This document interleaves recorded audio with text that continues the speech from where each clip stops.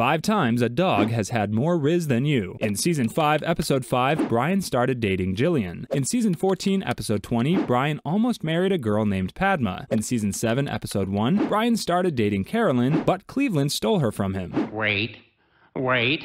Ow! And boom goes the dynamite. In season 14, episode 8, Brian started sleeping with Tori. In season 14, episode 16, Brian and Bonnie started dating.